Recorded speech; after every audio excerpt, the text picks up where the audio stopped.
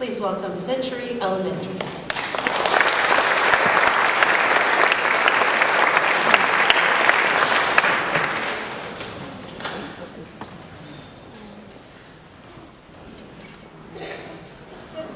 We are the Century Tiger Choir under the direction of Rebecca Maddox and accompanied by Pauline Campbell. We are so pleased to sing our three selections for you this morning. Our first piece is Al Shlosha D'varim.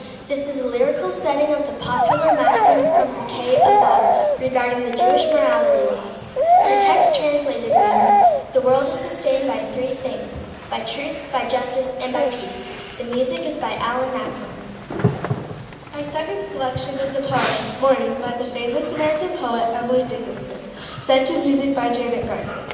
Our final song is a traditional spiritual arranged by David Jean Perry, Elijah Rock. Thank you, and we hope you enjoy our performance.